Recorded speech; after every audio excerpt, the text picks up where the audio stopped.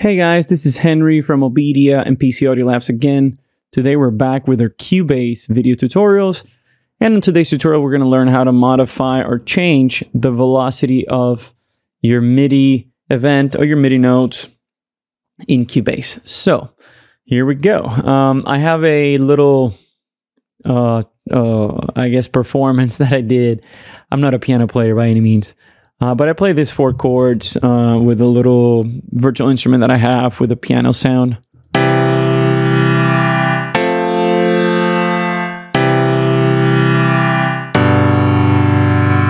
So you get the idea, right? Um, four chords. Uh, they're playing this like whole note feel.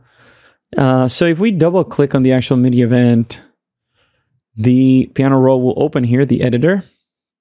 And here we can change the velocity. Now, what is the velocity? Velocity is a MIDI message that tells the virtual instrument how loud you play the actual key on the MIDI controller.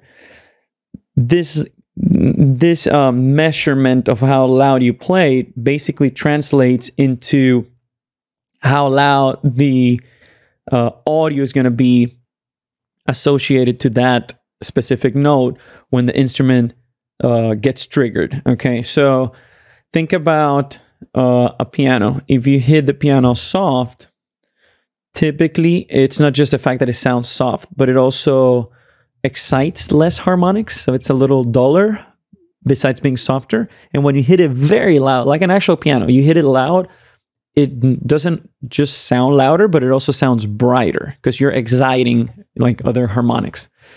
So that's just a little bit of uh, velocity. Now, let's say that you just wanted, like, you recorded something and, hey, I think this is too loud. I wish it could be softer. Uh, it's just too much. Um, well, you could re record it, yes, and just play it softer. But if you're not a piano player like me and you're scared that you might not be able to do the performance again, you can modify the actual velocities to make them softer. So, for example, check this out. That first chord, feel like it's too loud.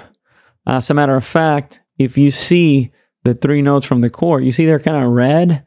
The more red they are, the higher the velocity. The more blue, the lower the velocity. So if you like, you click on that note, like that note to select it. Um, this information here tells you where it starts, where it ends, the length, the pitch. That's an E2. That one's a C2. And that's a G2. So let's say that I wanted to make the whole chord softer. I could click and drag to select all three notes and then go here to velocity, double click and type, let's say uh, five. Oh, not, not 125, five. All right, let's do 10. Oh, 25, sorry. So um, we went from 100, whatever it was, to 25. If we press play now, softer.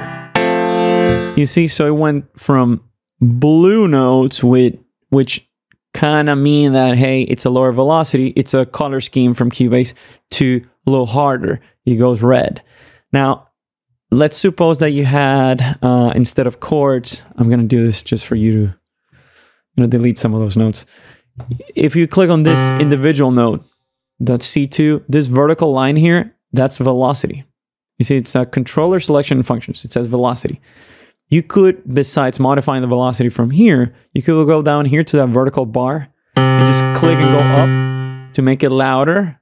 You see it's super red. Or you could click and go down there and make it softer, right? So you can do things like that. Like, let's go ahead and make all of these super loud. 125. Now it's going to be pretty obvious when I go from this area here to this area to this note to this note. Let's let's give it a shot. Soft, loud, soft, loud. So that's how you modify your MIDI velocity um, in Cubase. Once again, you can click on the note and modify it from the actual velocity bar, or you can click on the note and modify it up here it says velocity. You can click and drag uh. or click and type. So that's it for today. That's how you change or modify your MIDI velocity in Cubase. If you have any other questions, please call us from Obedia and PC Audio Labs and we'll be happy to help you. We'll see you soon. Bye bye. Want to learn how to produce music using this, or using that, or using all of these? Have you been watching videos, reading manuals, blogs, and trying to figure out everything that it takes to be a music producer? Do you have a bunch of music gear that you purchased and you still haven't made any music? Well, then you need Obedia, the world's only one on one digital audio training and tech support service. Check out the link below for a special new subscriber offer.